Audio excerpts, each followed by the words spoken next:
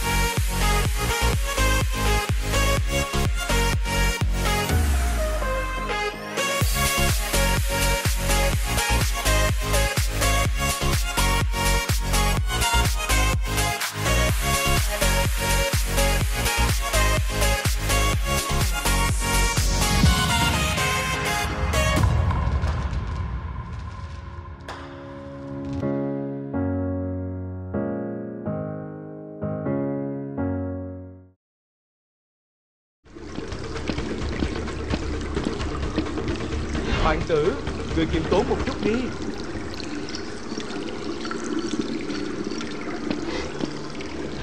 Có một cơn ấm lạnh Sợ rằng sẽ có biến hóa.